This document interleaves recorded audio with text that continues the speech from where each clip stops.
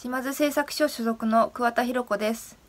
今回全日本選手権大会に出場します。日本人選手にとっては全日本選手権は国内大会で特別な大会の一つとなると思うので、えー、ぜひ無観客開催とはなってしまいますが応援していただけるとありがたいです。私も、えー、一球一球、えー、精一杯プレーしたいと思いますのでぜひ応援よろしくお願いいたします。